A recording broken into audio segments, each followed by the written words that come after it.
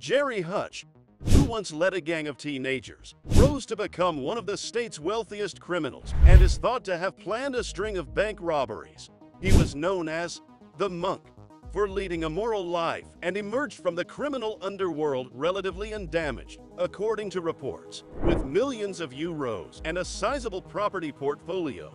Yet what brought him back and put him in the center of Ireland's fiercest feud was his loyalty to his family. The Kinahan cartel killed his brother, three nephews, and two friends during that time. He was apprehended on Thursday night in Fuengirola on the Costa del Sol, according to an earlier this year issued European arrest order, and is currently being held in a Spanish police station cell. The deposed gang leader will very definitely be returned home to stand prosecution for allegedly planning the February 5, 2016 attack on the Regency Hotel which killed Kinahan enforcer David Byrne. Gerry the Monk Hutch's arrest in Spain is the most recent episode in a colorful life that has placed him in the sights of international law enforcement. Hutch, 58, had disappeared from Ireland in 2016, not long after his brother Eddie was killed. It had only been a few days before a hit team posing as Gardaí and a man in a woman's costume broke into a boxing weigh-in at the Regency Hotel. Investigators have reason to think that members of the Hutch organized crime group planned the murder of the monk's nephew Gary Hutch that day, and Gardaí believed that Daniel Kinahan was the intended victim. On that particular day, they failed to capture Kinahan but managed to assassinate David Byrne, a well-known member of the Byrne organized crime group, a rival gang to the Kinahan gang. Following it, there were at least 18 murders, making it one of Ireland's worst gangland feuds. Then, Bolam and Gardaí have been looking into the event. Gerry's nephew Patrick Hutch was on trial at the Special Criminal Court, but the case was dismissed. The monk, who is believed to be the group's leader, was soon in the detectives' sights once they refocused their efforts. In connection with the attack on the Regency, the Director of Public Prosecutions directed that he and others be tried, and earlier this year, Gardaí requested for a European arrest warrant. Looking back on the monk's past is necessary to comprehend his position in Irish gangland and his gradual ascent to public notoriety.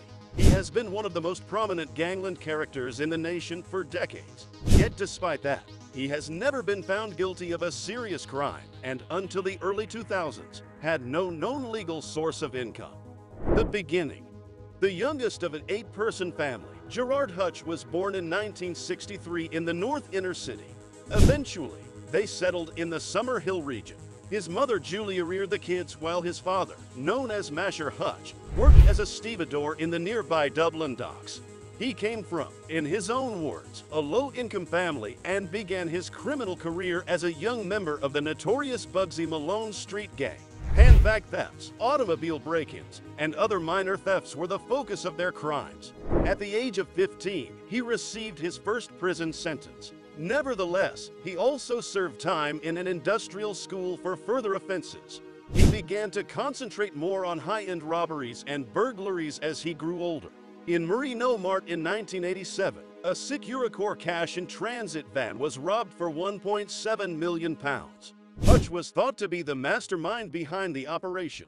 He first came to public attention in 1995 during the infamous Brinks Allied robbery at the company's depot in Clonshaugh, North Dublin.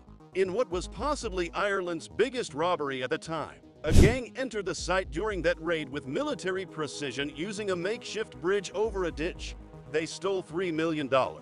Following that raid, Hutch's attention from the Gardaí was intensified, but charges against him were not likely due to his efforts to avoid being directly linked to his suspected crimes. Follow the money. The state took a different approach and the newly established Criminal Assets Bureau began focusing on his illegally acquired wealth. By 1997, the CAB had filed a lawsuit in the High Court and was suing Hutch for millions of euros. At this point, he was wealthy and had purchased a number of properties, including a sizable home in Clontarf. In testimony provided to the High Court, CAB alleged that Hutch was the head of a gang that had committed more than 4 million pounds worth of cash robberies. Hutch informed the judge that he was in financial trouble and planned to sell some of his properties to pay his legal bills. According to CAB, he stashed money in offshore accounts under the names of associates and invested a significant portion of the income from his illicit actions in real estate. The Bureau's strategy was to pursue those accounts, the portfolio of real estate, and the funds that were leaving Ireland and ending up in foreign institutions. To the Halifax International in St. Helier, the tax haven of Jersey, they followed the money. The investigators discovered that a P. Fowler delivered an envelope to the financial institution on Channel Island from the United Parcel Service facility in Glasnevin. This, according to CAB, was done under the alias Patricia Fowler, the name of Gerry Hutch's wife. They reported that he had spent another £130,000 in his wife's name in a home on Dublin's Drury Street. Four further properties in Lower Buckingham Street had the names of various Hutch family members.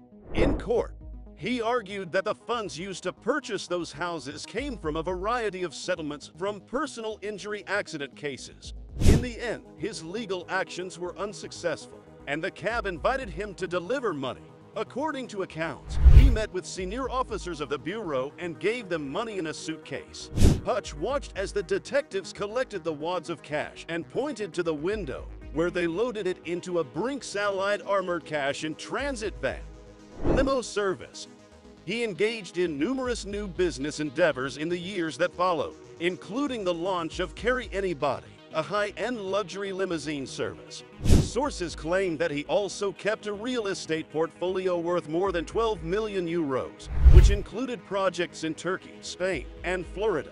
Despite his assertions that he had done nothing wrong and his reputation for leading a monastic existence, he may have been accused over time of courting attention. He discussed his life and the difficulties of being one of Ireland's most odd criminals in a 2008 RTÉ interview. He claimed that the CAB case was a tax settlement rather than anything involving the proceeds of crime, positioning himself as the victim as opposed to the protagonist. He claimed to be nothing more than a shrewd real estate trader as he spoke with assurance and confidence. I did a lot of business in real estate. It was fun and that's how I made money. He asserted that the only information concerning the offenses he was charged with came from newspaper accounts of his purported exploits. After reading it in the newspaper, I'm starting to think I did it myself.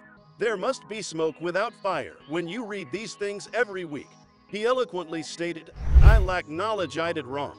But I think the seriousness of being put into Mountjoy prison at that age, it was like going to college for criminals, in reference to going to prison at the age of 15. The North Inner City neighborhood of Ballybough is where this reporter has undoubtedly seen people who respect Hutch. Notwithstanding his other alleged interests, he has actively supported one particular community project and is regarded by some as a sort of Robin Hood figure. Revenge. Events involving his nephew Gary Hutch and the Kinahans served as the starting point for a dispute that left several members of the Monk's family dead. Additionally, it has taken the lives of innocent people who were in the wrong location at the wrong time. Gary allegedly joined forces with the Kinahan criminal organization and invested proceeds from a tiger kidnapping in a narcotics shipment. Gary tried to get back at him in a botched shooting after his investment failed. He executed himself, and in September 2015, his former friend James Frizzy Quinn killed him in Spain. Quinn is currently incarcerated in Spain, receiving a 22-year sentence. The desire for vengeance that followed allegedly led Gerry Hutch and his friends to plan the attack on the Regency Hotel. The monk might fight for his extradition or return home to stand trial before the Special Criminal Court in the following chapter of his story. What are your thoughts on this? Let us know in the comments section down below. If you enjoyed today's video and found it interesting, then make sure to leave us a thumbs up and do not forget to subscribe to our channel and click on the bell icon to be always updated with the most exciting content as soon as it's uploaded. Thanks for watching. See you again soon in another video.